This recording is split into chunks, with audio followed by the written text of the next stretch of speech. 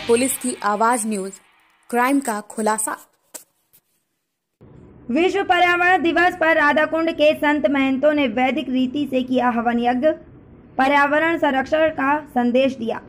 विश्व पर्यावरण दिवस के मौके पर राधाकुंड की छोटी परिक्रमा मार्ग स्थित गिरिराज संत सेवा आश्रम में संत राधा मोहन दास, रघुनाथ सिद्ध के नेतृत्व में दर्जनों संत महतों ने वैदिक रीति से हवन यज्ञ में आहुतियाँ दी और हवन यज्ञ के ज़रिए पर्यावरण संरक्षण का संदेश दिया।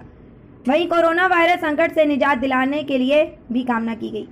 संत राधा मोहन दास रघुनाथ सिद्ध ने बताया कि हम देशवासी अपनी सनातन संस्कृति को तेज़ी से भूल रहे हैं, जिसका असर कोरोना वायरस संकट संकट के तौर पर दिखाई दे रहा है।